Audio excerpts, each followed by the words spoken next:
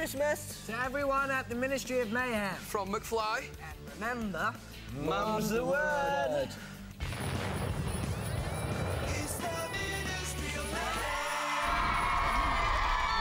Pet Alien there. Do you know what? I love Pet Alien so much. Good. Yeah, and do you know what? It's inspired me to bring a kind of Christmassy pet in today. Do you want to see her?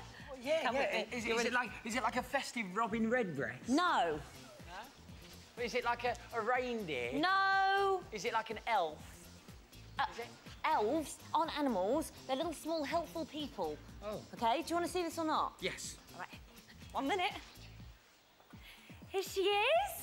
This is Chelsea. She's a Christmas poodle. What is that? Well, like I just said, this is Chelsea, and she is a Christmas poodle. But poodles aren't Christmassy, are they? Um, okay, I think you'll find if you look at the colour of her lovely fur here, you'll see it's white, like the newly driven snow on a Christmas morn. Right, I tell you what, that's ridiculous. All right, I will turn it into a Christmas poodle. Come with me. Come here, bullseye.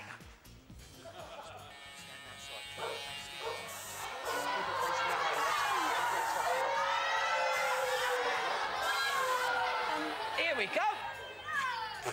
Perfect. There you What have go. you done? Now What that- done? Oh, she Yeah. looks amazing. Yeah. Stephen, thank you so much. Happy Christmas, Holly. Thank you. There you go. Chelsea.